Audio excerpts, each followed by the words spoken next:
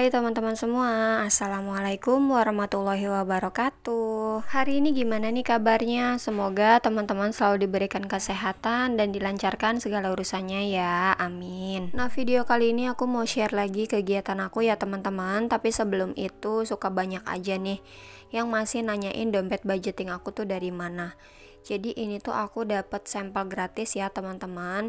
Nama tokonya tuh Astoria. Kalau teman-teman mau nanti linknya aku taruh di komen atau di description box. Nah jadi di dalam dompetnya ini udah dapat budget sheet kayak gini.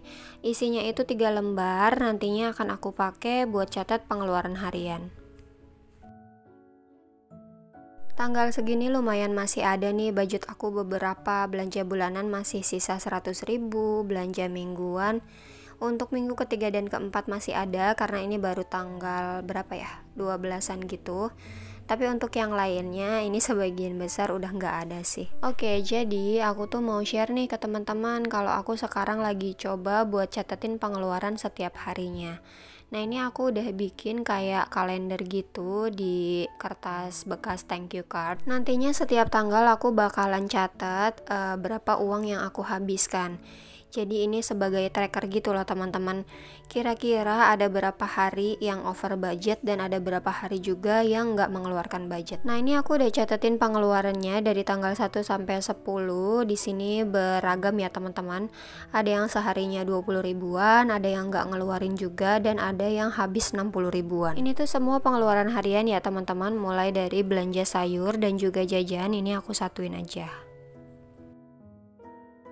Nah kegiatan selanjutnya karena posisinya suami aku tuh lagi libur kerja jadi aku mau bikin cemilan nih. Kebetulan punya puding moms recipe katanya sih ini enak dan ini aku baru pertama kali coba ya teman-teman. Cara bikinnya gampang ternyata nggak perlu tambah gula lagi jadi di sini cuman tambah air aja.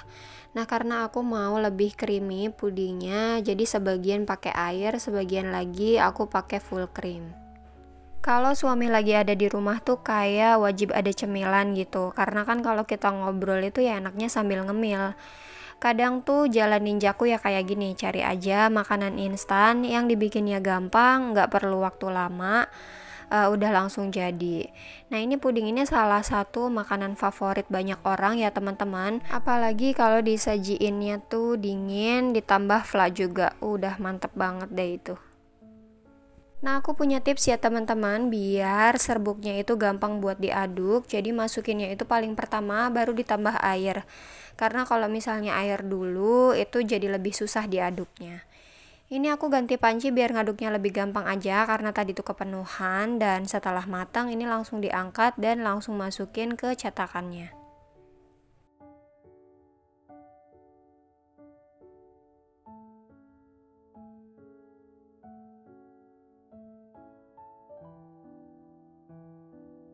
Oke tadi masaknya udah selesai. Seperti biasa kegiatan setelah selesai masak itu ya cuma cuci piring ya teman-teman. Ini ada piring bekas sarapan tadi pagi dan bikin puding yang tadi juga. Jangan tunggu numpuk takutnya nanti keburu males Jadi mumpung ini masih sedikit langsung aja dikucek-kucek. Nah sambil cuci piring aku mau sekalian update stiker vinil di dapur aku ya teman-teman Dulu tuh waktu awal makeover kan sempat khawatir bakalan ngelupas atau enggak karena pakai stiker vinil yang murahan. Nah ini dia kondisi setelah 5 bulanan aku pakai, stikernya itu masih kuat, masih bagus, asalkan kita rajin buat bersihin dan juga lap biar nggak terlalu lembab.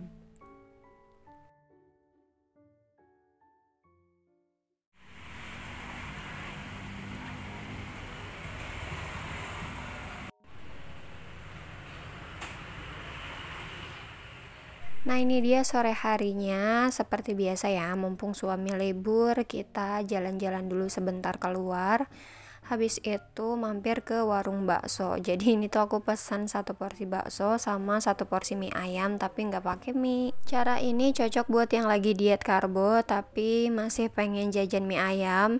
Ya udah pesannya mie ayam nggak pakai mie. Ini tuh enak juga kok ternyata. Tapi ya itu pesannya itu pedagangnya kebingungan beli mie ayam tapi kok nggak pakai mie? Buat yang udah rumah tangga sebenarnya quality time kayak gini tuh penting banget ya teman-teman. Meskipun cuman sekedar keluar sebentar makan bakso kayak gini di pinggir jalan Ini tuh udah lumayan banget buat bangun komunikasi biar kita tuh lebih sering ngobrol gitu. Karena kan kalau misalnya yang satu kerja yang satu di rumah Otomatis waktunya juga sebagiannya itu ya habis di tempat kerja Kadang pas di rumah juga udah kecapean duluan, hasilnya ya udah cuman istirahat aja. Jadi sebisa mungkin manfaatkan waktu liburnya buat quality time kayak gini. Nah ini besok harinya karena masih libur, jadi seperti biasa ya cari jajanan aja. Ini aku nemu kue apem khas Makassar. Aku baru pertama kali lihat, jadi ini penasaran, langsung aja mau beli. Nah ini bentukannya tuh lucu banget teman-teman uh, kayak sepasang gitu dan masih anget-anget kayak gini wanginya juga semerbak ke mana-mana.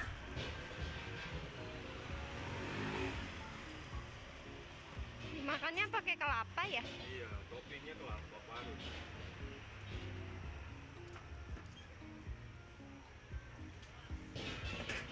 Nah ini satu porsi itu isinya ada 10 dan dimakannya itu dicocol pakai kelapa.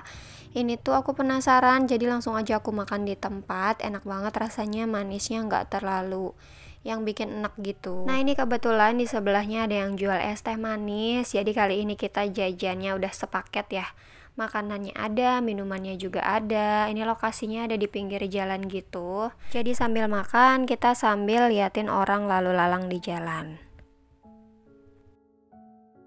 Nah ini di perjalanan pulang ternyata di beberapa blok dari rumah aku tuh ada rumah yang dikontrakin ya teman-teman Kebetulan rumahnya lebih besar dari rumah yang aku tempatin sekarang dan dia juga plusnya ada tokonya di depan rumah tapi sayangnya lokasinya itu kayak kurang bagus menurut aku karena ini tuh pas banget di pertigaan dan lagi kayak nggak ada jalan utamanya gitu. Bukan jalan utama sih kayak keamanan yang dipakein gerbang gitu loh teman-teman. Jadi ini depannya juga kan kosong ditambah lagi beberapa tetangganya itu kosong juga jadi kayak masih sepi gitu loh lingkungannya. Padahal rumahnya sih lumayan bagus menurut aku tapi ya balik lagi ya karena kurang cocok jadi kita cuma lihat-lihat aja. Nah ini nah kalau di rumah yang aku tempatin sekarang kan ada gerbang masuknya jadi keamanannya itu lebih bagus ya. Dan untuk rumahnya ini kayak gini nih tampak depannya. Sebenarnya nggak terlalu jelek dibanding yang tadi tapi sayangnya itu sering banget bocor. Jadi ya kalau ada kesempatan aku cari-cari kontrakan lagi aja Nah ini depan rumahnya juga sama ya. Rumah kosong dan ada pohon jambunya. Ini tuh lagi berbuah tapi sayang masih pada ijo-ijo. Nanti deh kalau misalnya udah pada matang kita ambil aja. Oke deh videonya sampai sini dulu ya. Bye bye wassalamualaikum warahmatullahi wabarakatuh